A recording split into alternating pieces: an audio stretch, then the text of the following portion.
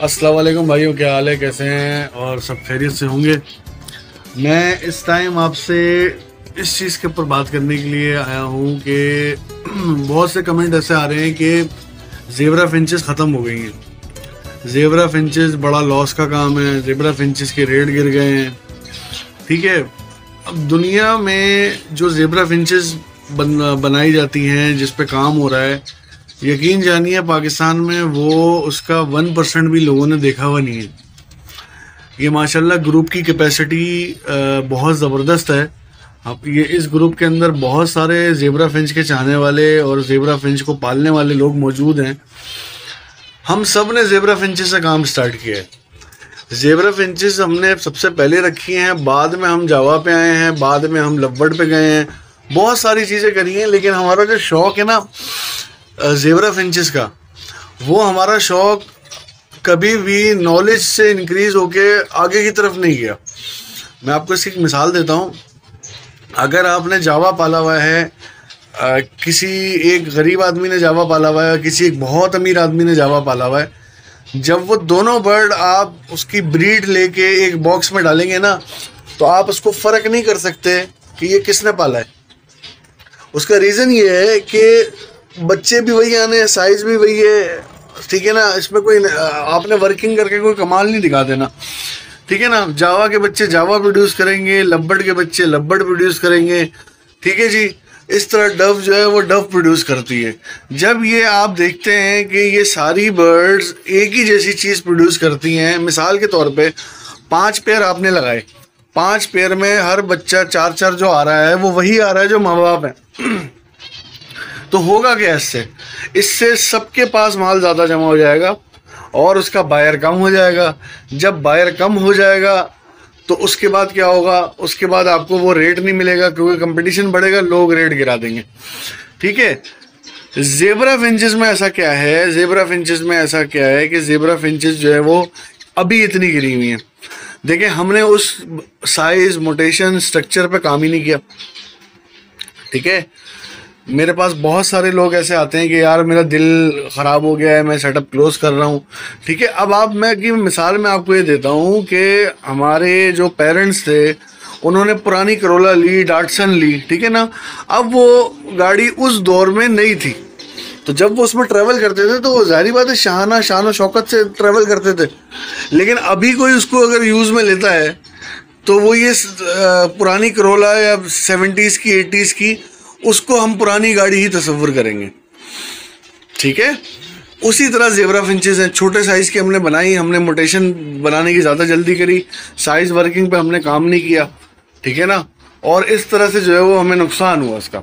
मैं आपको एक वीडियो दिखा रहा हूँ अभी। ठीक है? अभी पहले वीडियो पे चलते हैं। मैं आपको ये दिखाना चाहता हूँ कि वर्ल्ड में किस स्टैंडर्ड पे काम कर रहे हैं। ठीक है जी? उसके बाद हम वापस आते हैं।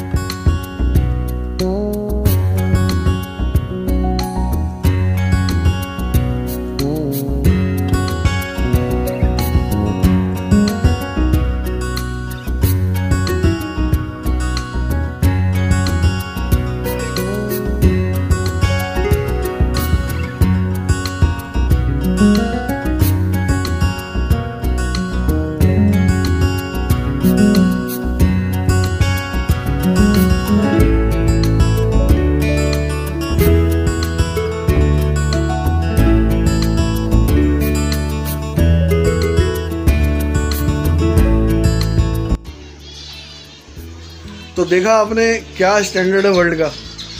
क्या साइज़ है उनके? किस हिसाब से वो बर्ड को बना रहे हैं? कितनी मेहनत कर रहे हैं?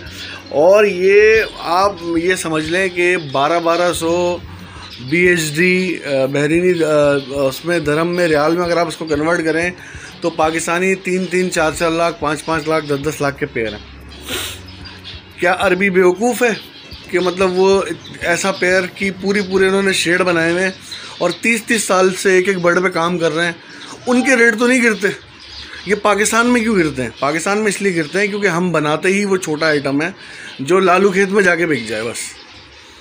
कम परिंदे को जब कमर्शियल नज़र से देखोगे तो फिर कमर्शियल तरीके से ही आएगा। अभी सारे फ़ोन जावा के पीछे भाग रहे हैं, डफ के पीछे पाइट डायमंड डफ डालने। आप ये छः महीने बाद देखिएगा कि इसका क्या हाल होता है। ठीक है जी? दूसरी चीज़ मैं आपको एक और समझाऊँ। आप ये देखिए कि हमने रखना क्या है? ठीक है? हमने काम किस पे करना है?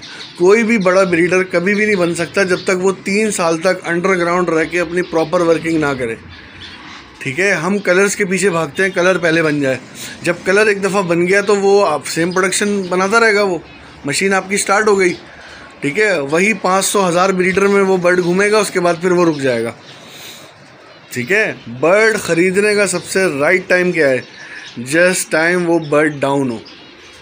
ये ब्रीडर जानता है। ये एक्सपर्ट जानता है। लेकिन जो बेवकूफ़ हैं, वो ये समझते हैं कि जब जो चीज़ चढ़ी हुई हो ना, उसके पीछे भागो। अभी पैंतीस का, चालीस का डीएनए टेस्टेड फ़ोन जावा का पेयर कितने का चल रहा है? भाई पैंतीस हज़ार रुपये का, चालीस हज़ार रुपये का, कोई पैंतालीस डिमांड कर रहा है। तो लोग ले लेंगे। यहाँ पे पाकिस्तान में गुर्बत कहीं नहीं दिखेगी फिर आपको। क्योंकि फिर लोगों के पास पैसा आ जाएगा। ठीक है ना? लेकिन जो चीज़ अभी गिरी हुई है जैसे अब फ़र्ज़ करें अगर कहीं से आपको क्वालिटी बर्ड्स मिल रहे हैं कम पैसों में तो this is the right time to buy zebra finches in quality मैं ये नहीं कह रहा कि आप दोबारा से कचरे की तरफ़ जाएँ। क्वालिटी बर्ड्स क्या स्टैंडर्ड है कैसी हैं वो मैंने आपको दिखा दिया। इन चीज़ पे कौन कौन काम कर रहा है? इन चीज़ पे आ, कौन इसको लेके चला है? ये सब आपके सामने है। मुझ समेत, कराची समेत, लाहौर समेत, इस्लामाबाद से बहुत सारे लोग हैं जो इस चीज़ पे काम कर रहे हैं। ठीक है? अभी मार्केट में एक अफवाह आई, बीस हज़ार रुपये का चारकोल बिक रहा है। ठीक है? अब सब लग गए उसके पीछे। कमेंट आप चेक करें। जेबरा पिट गई, बीस हज़ार रुपये का चारकोल। माशाल्लाह। अभी मत लेना, अभी ये और नीचे आएगा। अरे बेवकूफ़ों। माजरत के साथ। बर्ड का स्ट्रक्चर पता है आपको क्या होता है? जब आपको बर्ड का स्ट्रक्चर ही नहीं पता, आपको यही नहीं पता कि इंटरनेशनल लेवल पे बर्ड को किस चीज़ पे पॉइंट्स मिलते हैं। तो फिर आपका, इस चीज़ पे डिस्कशन बेकार है ना? आप कहीं से लो तीन लाख रुपए का पेयर बॉक्स में डालो चारकोल का, और कहीं से फिर वो बीस हज़ार रुपये वाला लो। पहले तो वो मिलेगा नहीं क्योंकि वो अफवाह है, ठीक है ना? बीस हज़ार रुपये वाला वो पेयर चारकोल का डालो और फिर आप उसका साइज़ देखो आप। आपको समझ में आ जाएगा कि वो किस स्टैंडर्ड पे ये जो अभी मैंने वीडियो आपको दिखाई, क्या ये स्टैंडर्ड पे मीट हो रहा है या नहीं हो रहा। ठीक है ना? दुनिया में बहुत सारी बर्ड्स पे काम होता है।